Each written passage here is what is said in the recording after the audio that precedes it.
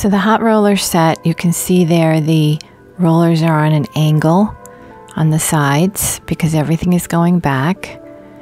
And on the bottom, it's going up because the bottom is going up. So the set of the hot roller and the direction of it is important. Over directing, there is a lot of tease in this look because it is a sculpted look. It's not a boho look, it's not a soft look. It has a strong foundation.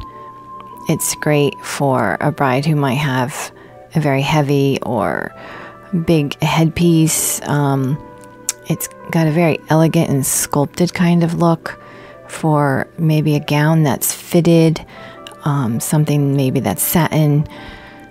So it's important that the hairstyle works with the look. I'm taking small sections and I'm going and using the rounds of the head.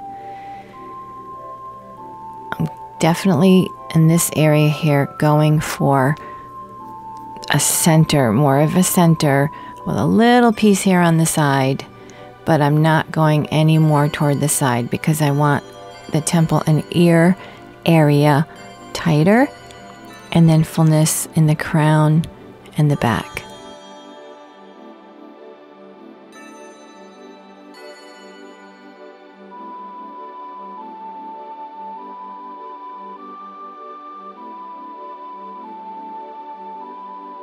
You can never have too much tease, but if you get caught with not enough, you're going to be fighting floppiness and uh, lack of control.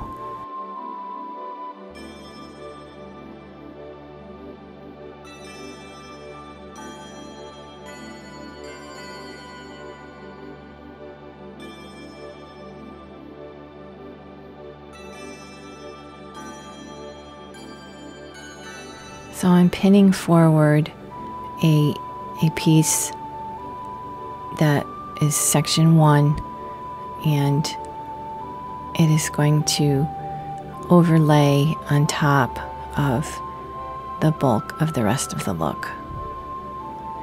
And, and I know, I, I have enough experience to know what I'm doing and what I'm heading toward, and that's why I'm really giving it as much tease as you see.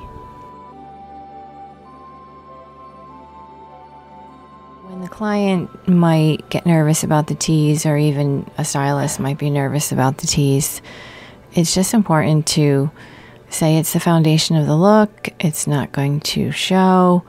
Um, it can always come out, but you cannot put it in once you get started. Now, this mannequin head does not have very long hair. And it is important that the tease here is is at the root, close to the head shape. And maybe it can feel like you get totally lost with this much tease, but the sectioning system of section one in the front, two and three on the sides, and four in the crown and five in the back will just help you stay focused.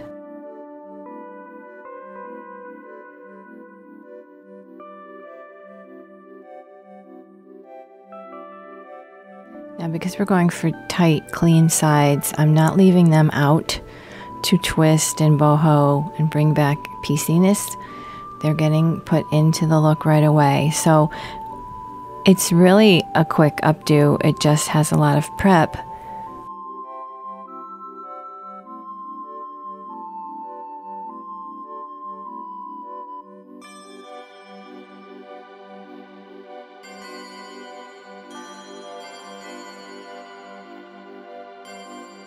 just making sure that it is smooth and getting any bumps out and it's going to be clean.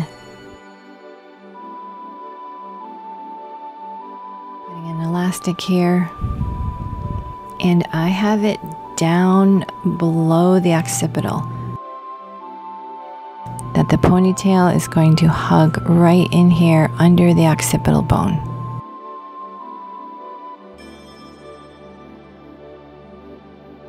pull that bottom and it brings it in tight without messing up the top layer.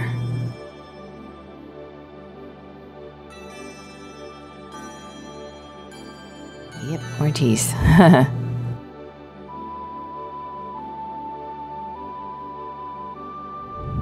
As you can tell, I'm teasing just on the top because the bottom side will be the smooth section.